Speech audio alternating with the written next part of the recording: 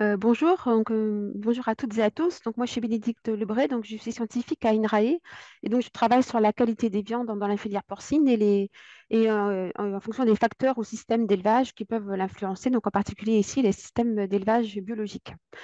Donc, euh, euh, je voulais vous parler aujourd'hui de, travaux qu'on a fait pour identifier euh, des leviers pour réduire les risques d'odeur de porcs mâles non castrés et donc limiter aussi les inconvénients liés au risque de comportement délétère des animaux de l'élevage de ces porcs mâles non castrés.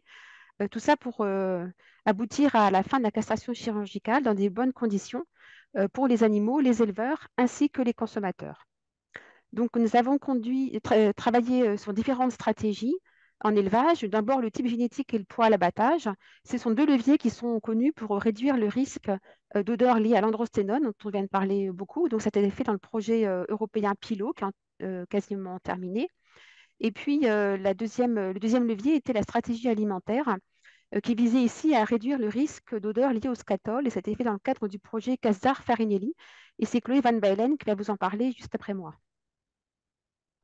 Donc, dans le cadre euh, du projet Pilot, on a travaillé sur les types génétiques et le poids à l'abattage.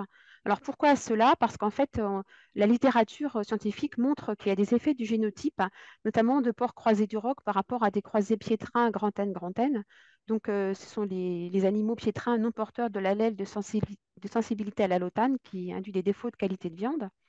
Et donc, entre ces porcs croisés du roc par rapport aux piétrins, montrent des différences de comportement en élevage, euh, en élevage conventionnel, euh, not- notamment chez des mâles euh, castrés ou des femelles, avec des indicateurs plutôt favorables en termes de bien-être pour ces croisés du roc. Et on voulait voir si on pouvait les retrouver sur des porcs mâles non castrés en élevage biologique, donc avec une surface plus importante et puis l'environnement enrichi. Les porcs croisés du roc montrent une meilleure qualité de viande, mais des risques d'odeur plus élevés liés à l'androsténone par, par rapport au piétrin, qui est euh, lui très utilisé, mais qui conduit à une viande de qualité standard et à faible risque d'odeur. C'est son avantage. Il est très utilisé tant en conventionnel qu'en biologique. Et par ailleurs, le poids à l'abattage accroît le risque d'odeur. On a déjà parlé un petit peu tout à l'heure. Donc, l'objectif de notre travail était de comparer des porcs croisés euh, du roc large white par rapport à des piétrins large white sur des indicateurs de santé bien-être en élevage, les performances de croissance et la composition des carcasses, et puis la qualité de viande et la teneur en composés odorants, et aussi de prédire le risque d'odeur euh, si on diminue le poids à l'abattage. Donc, le dispositif expérimental était euh, le suivant. Donc, le travail a été réalisé en station expérimentale INRAE organique, donc dans la Vienne, avec euh, au total, on avait 81 mâles non castrés, donc répartis en deux bandes, avec évidemment chaque génotype à chaque bande. Et donc, les animaux étaient élevés, vous voyez le schéma à droite, hein, donc en système euh, euh, biologique, euh, tous dans la même, euh, une case par génotype et par bande, et puis tous dans le même bâtiment, avec donc une zone d'alimentation et une zone sur litière à l'intérieur, puis un accès permanent à une courette extérieure couverte. Il y a les photos en bas à droite. Donc tous les animaux avaient la même alimentation à volonté, avec des régimes croissance et finition, et avaient aussi accès à du fourrage, donc du foin, en permanence distribué dans des râteliers. Euh, nos collègues de l'IFIP ont réalisé des observations de bien-être et de santé des animaux pendant la phase d'élevage. On a évidemment suivi la croissance, euh, réalise des prises de sang euh, en phase de finition. Tous les porcs ont été abattus en abattoir commercial. On a fait des mesures pour caractériser les carcasses ainsi que la viande et puis euh, des prélèvements pour analyse en laboratoire de la qualité de la viande. Donc, je vais vous présenter les résultats. D'abord, concernant les effets du type génétique euh, sur les indicateurs des bien-être de santé en élevage. Donc ici, j'ai indiqué les principaux résultats qui différaient entre les deux génotypes. Donc le principal résultat, c'est que euh, donc, tout d'abord, il y avait globalement peu de, défauts, enfin de problèmes de bien-être de santé. Et globalement, les animaux avaient euh, plutôt en bonne, dans des bonnes conditions. On a quand même eu plus de porcs avec un nombre de griffures important pour les croisés piétrins par rapport au duroc en élevage. Et on le retrouvait à l'abattoir sur le schéma à droite, où on voit qu'il y a plus de griffures pour les porcs croisés, donc euh, piétrins par rapport au duroc, sur les carcasses. Et par ailleurs, on avait aussi euh, plus de porcs avec euh, des lésions à la queue, notamment en fin d'engraissement pour les croisés piétrins. Donc euh, voilà.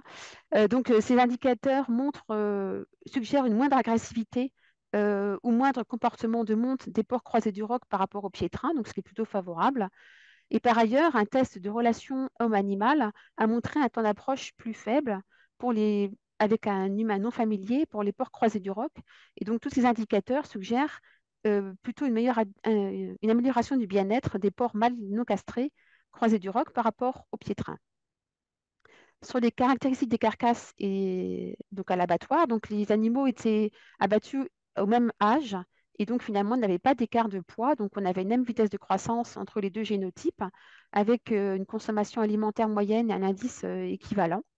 Euh, par contre, au niveau des carcasses, on a une légère diminution de rendement en carcasse pour les croisés du roc, ainsi qu'un poids de carcasse un peu plus faible et surtout un TMP qui est plus bas et qui était lié à la fois à une, épaisseur de lard plus élevée et une épaisseur de muscle plus faible. Donc ça, c'était attendu, hein, puisqu'on avait, euh, a déjà bien identifié dans la littérature l'effet, euh, donc la diposité plus élevée des porcs croisés du roc par rapport aux piétrins. Mais on a pu le, montrer à nouveau ici sur des porcs mâles non castrés. La suivante, voilà. Donc ensuite, on a les résultats de qualité de viande. Voilà, donc j'ai présenté ici les résultats sur la longe. Il faut savoir qu'on a fait des mesures également dans le jambon et on obtenait les mêmes types de, résultats. Donc par rapport aux porcs croisés euh, euh, donc les porcs du roc n'avaient pas de différence de pH ultime, qui est un indicateur de qualité très important euh, pour la transformation. Hein. Par contre, ils avaient une moindre perte en eau, une luminance plus faible, la valeur L étoile, un indice de rouge un peu plus élevé. Donc ça, ce sont des indicateurs plutôt favorables euh, pour l'aspect de la viande. Et donc, c'est important pour l'attirance du produit, on va dire, par rapport au consommateur. Et surtout, les porcs croisés de roc avaient plus de gras intramusculaires et euh, tendaient à avoir une force de ces aliments de la viande cuite plus faible. Donc, suivante, voilà. Donc, euh, ces indicateurs-là suggèrent une meilleure qualité technologique, donc aptitude à la transformation, de la viande des porcs croisés du roc, ainsi qu'une meilleure euh, tendreté. Et donc, on a aussi euh, quantifié les, composés odorants dans le gras. Donc, euh, vous avez à gauche la teneur en scatol hein, en fonction du type génétique. Donc, vous voyez qu'il n'y a pas de différence significative entre les deux génotypes pour le scatol. Par contre, au milieu, ici, sur la figure, l'androsténone montre une teneur globalement plus forte pour les porcs croisés du roc par rapport au piétrin. Donc, ça, on l'avait identifié dans la littérature, hein, donc on confirme. Mhm. Euh, et il euh, faut savoir qu'à l'abattoir, il y a une seule carcasse de porc du roc, de porc du roc qui a été détectée odorante et qui est la carcasse euh, qui avait la teneur en scatol la plus élevée, donc le point tout en haut à gauche. Et donc, suivante, on a, à partir de ces des, seuils de, identifiés ici de, rejet de la part des consommateurs pour les viandes en fonction des teneurs en androcénone et en scatol, on a quantifié le risque de rejet euh, en considérant les deux molécules ensemble, et on voit que ce risque est plus élevé pour les croisés du roc, notamment lié au fait qu'ils ont globalement des teneurs en androsténone plus fortes que les porcs croisés euh, piétrins. Et puis d'apo suivante, voilà, donc là, on a travaillé plus sur le poids à l'abattage et on a essayé de prédire le risque d'odeur donc, euh, et de, de, rejet par les consommateurs lié à une teneur en androsténone trop forte. Et ça, on l'a estimé à partir de prises de sang euh, réalisées en finition à différents stades chez tous les porcs, entre, 85 et, 125 kg.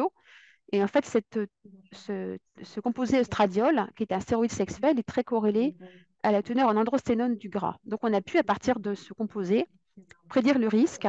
Et vous voyez que euh, le risque est beaucoup plus élevé pour les porcs croisés du roc, en noir par rapport aux piétrins, qui sont orange.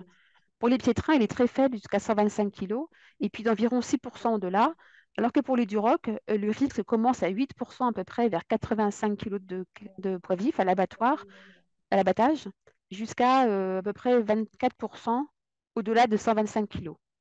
Donc, ces résultats montrent, outre le, risque plus élevé pour les croisés de roc, qu'il faut mieux abattre les animaux en deçà d'un poids de 125 kg. Et par ailleurs, dans les deux types génétiques, on a considéré que le risque lié au scatol était très faible si euh, les animaux sont dans des bonnes conditions d'hygiène et d'alimentation. Et a priori, ce risque lié au scatol est indépendant euh, du poids vif.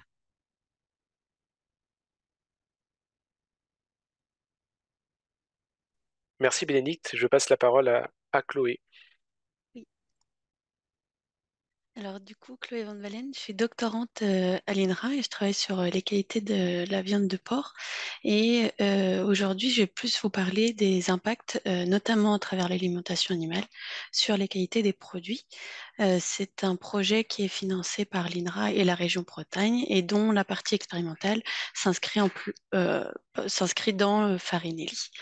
L'objectif principal de l'expérimentation a été d'évaluer l'effet de l'augmentation des apports en forage, en fibres et en ressources euh, nationales dans la ration des porcs, donc dans un système de porcs non castrés qui suivait l'agriculture biologique. On a voulu le tester sur le comportement des animaux, sur les performances de croissance et sur la composition des carcasses. Derrière ça, on a suggéré que la stratégie alimentaire pouvait améliorer plusieurs dimensions de la qualité qui sont présentées à gauche.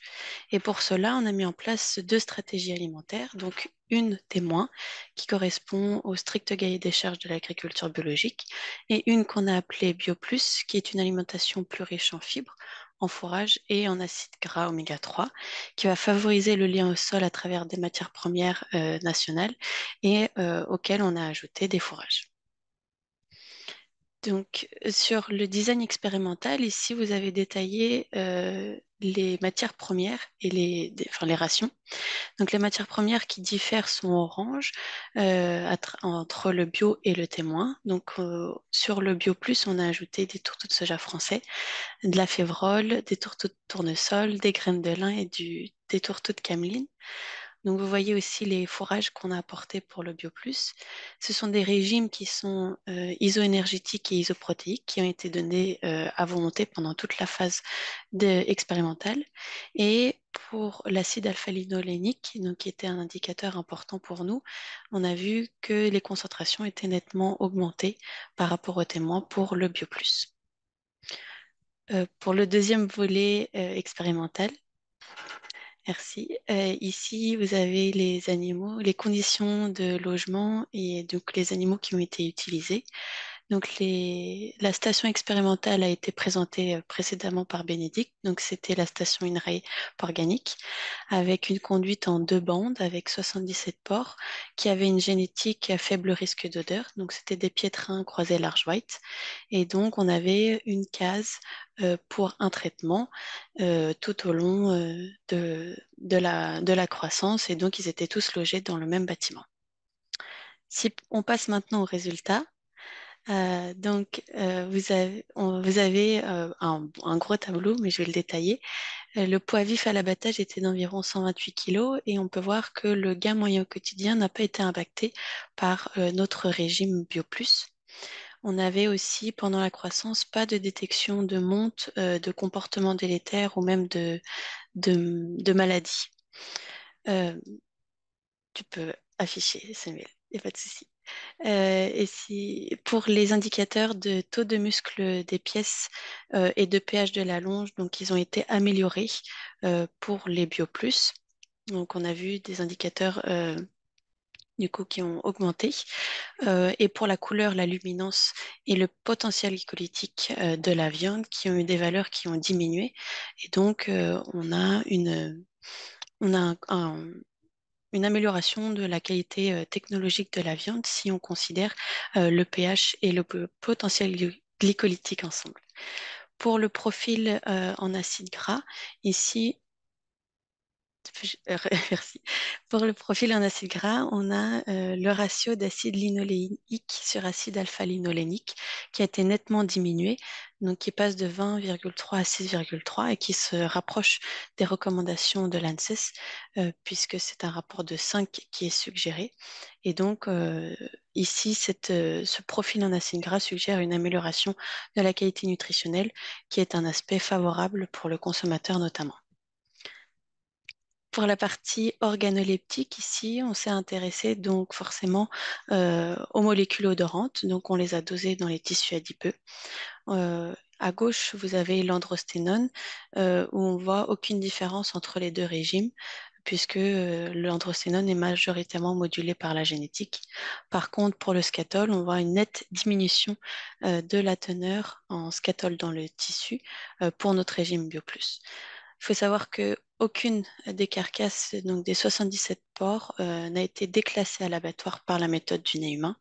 Et ces seuils sont pris en, on a en considération les nouveaux seuils, donc à 3 microgrammes par gramme de gras liquide et 0,15 pour l'androcénone et le scatol. Et on a deux carcasses pour les bioplus, deux carcasses différentes à chaque fois qui dépassent ces seuils-là de rejet. Pour le deuxième volet organoleptique, euh, on a fait appel donc à un institut privé pour conduire une analyse sensorielle sur une viande maturée de une semaine avec un jury d'experts entraînés sur une échelle de notation continue de 0 à 10 euh, sur des caractères euh, sur viande crue et sur viande cuite. Pour les indicateurs de viande crue, euh, l'intensité de l'odeur, la quantité de persillé et l'homogénéité du persillé, euh, on n'a vu aucune différence euh, entre les deux régimes. La seule différence qu'on a vue, c'était pour la couleur rouge, où ici, elle a été notée plus rouge pour le BioPlus et qui peut être corrélée avec des mesures directement faites à l'abattoir, qui a été l'angle de teinte qui a été aussi mesuré plus rouge. Pour la viande cuite, en revanche, les indicateurs d'intensité d'odeur, de flaveur, de tendreté, de jutosité et de persistance aromatique, ici, on n'a vu aucune différence entre les deux régimes. Euh, du coup, on n'avait euh, pas de différence euh, significative sur ces indicateurs. Donc, on a réussi à relocaliser les ressources, euh, les matières premières. On a pu améliorer les performances de croissance et euh, les propriétés nutritionnelles et organoleptiques notamment ont pu être euh, aussi améliorées. Et finalement, la combinaison d'un système du coup vis-à-vis de cette expérimentation d'un système port mal entier avec l'agriculture biologique, c'est c'est possible, tout en prenant en compte les difficultés liées aux odeurs indésirables. Donc, on peut les moduler via l'alimentation et les conditions d'élevage.